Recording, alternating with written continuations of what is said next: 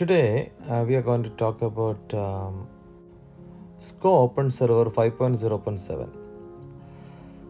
SCO Open Server is basically uh, currently it's a Xinuos uh, Open Server.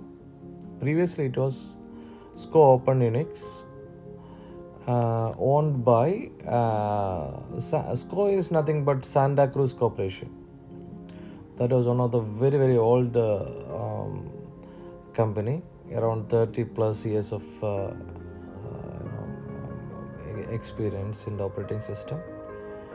And SCO Open Server is basically a Unix uh, system version 5 Uh, basically the core is um, uh, Unix system version 5 and currently it is basically the the Open Server 10 is based on FreeBSD and um, it's very reliable servers. Previously you know i think the old generation uh, people they are well aware of this operating system. And uh, this is very stable. SCO open server it's an intel based unix stable uh, server operating system. Most of our oracle uh, databases and um, uh, predominantly oracle i would say and uh, telecom applications a lot of uh, uh, mission mission critical applications were hosted actually in the SCO open server. And uh, fortunately i got a wonderful opportunity uh, to work on this uh, SCO open server. Um, I, will, I, will, I would like to uh, share those experience with you guys you know definitely so this is you know uh, we are we are installing um, SCO open server actually in uh, one of the X you know x86 server.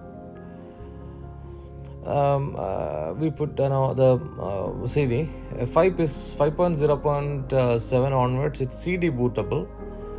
Um, and previously uh, it's a floppy disk uh, bootable then it will go to the you know medias uh, operating system media it will extract the media from the you know corresponding uh, media and it will install to the um, uh, hard disk. And this is basically an installation first step. It started now. And um, it's, it's it's easy basically. Installation is very easy. Uh, not that complicated.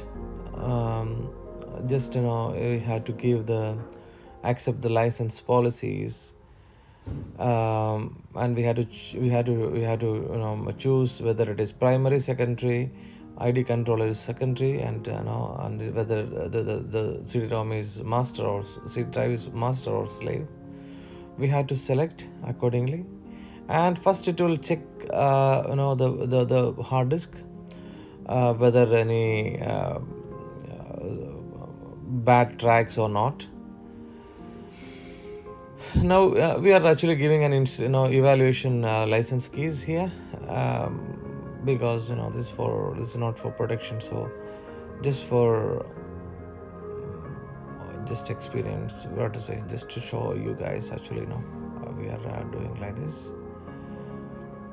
So we it will act you know whether it is upgrade or uh, previously the SCO 5 point before uh, 5.0.7 5.0.5 before that SCO Unix 4 3.2 we can uh, install 3 to you know we can actually use this upgrade upgrade option.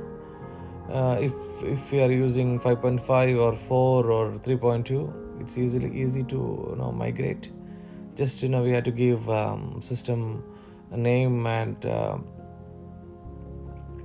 then again uh, you know we have to select whether it is full operating system or core. Core is nothing but you know minimal uh, installation files and uh, full means you know it will take the full extract from the cd um, yeah we have to uh, select bad tracks on. So that means you know the system will it will check the bad inodes basically the bad tracks and it will detect uh, the, you know, if there's any bad tracks and it will fix it or it will prompt us. You change the hard disk. And this will erase all the disk because it's a UFS um, Unix file system. A networking network card, you know, if you press, uh, you, we can see the three link three com uh, ethernet 100 100 100 mbps uh, link you know. And uh, deferred uh, we don't want to give any ip address uh, it's deferred. And uh, we're going to accept everything and um, yeah. Then mouse we have to configure the ps2 one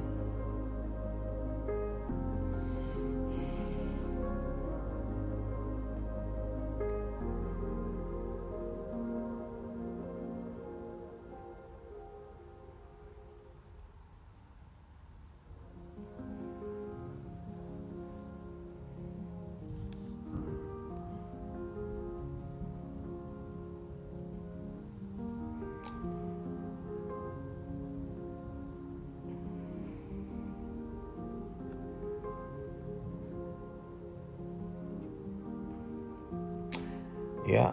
Um, then accept all about choices. Password um, i'm not giving any password. It's it's enter enter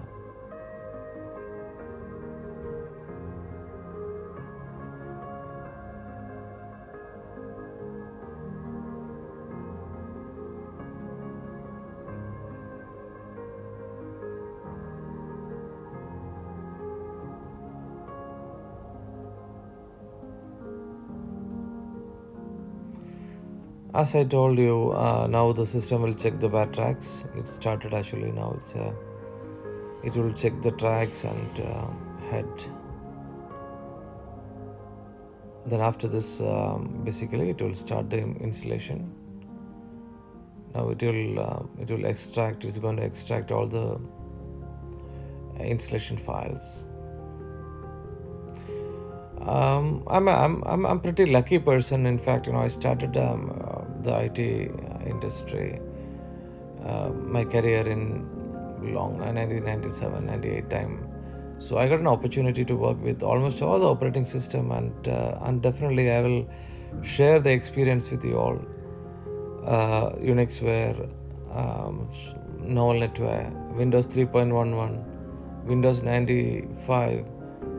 Uh, then Xenix, then all Linux, then uh, DEC Alpha, then uh, Iris, then yeah, almost I got an opportunity to work in almost all the operating systems till now. And Solaris 2.x um, onwards, system version release 4. so i think um, yeah now installation is almost uh, over.